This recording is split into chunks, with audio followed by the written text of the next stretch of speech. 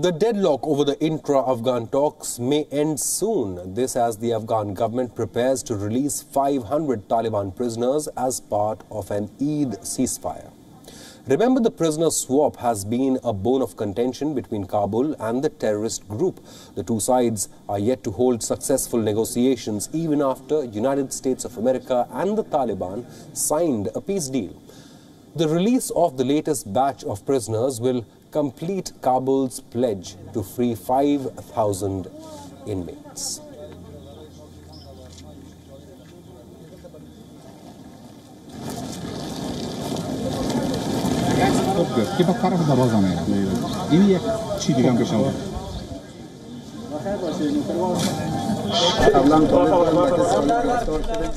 یا که برآمدیم دیگه کار بار غریب خودم می‌کنیم قبل اون سابق دهخانکار بودیم دهخانکاری خودم می‌کنیم یک سال چهار سال از زندان تیر کردیم. دیگه رنج تکلیف زیاد دیدیم چهار سال نه نه پایواز نه چیز.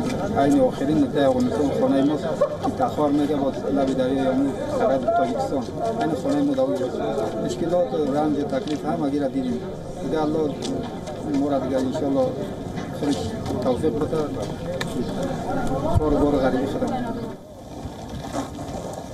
However, the 500 inmates are not on the original list of the 5,000 demanded by the Taliban.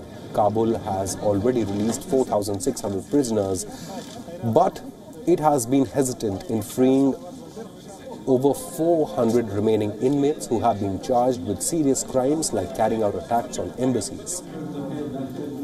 The Taliban has said that it will release over a thousand Afghan troops only after Kabul agreed to its prisoner swap demands.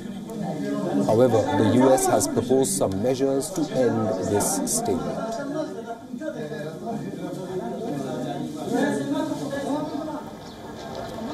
According to a report, Washington has proposed that hundreds of Taliban prisoners are transferred to house arrest in a supervised facility when they are freed from Afghan jails.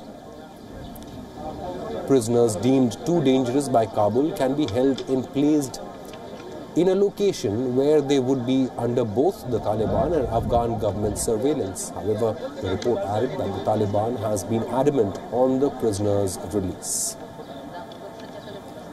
The Trump administration is keen on breaking this deadlock ahead of the November presidential election. We're continuing to negotiate Donald Trump is aiming to tout his success in ending America's longest war.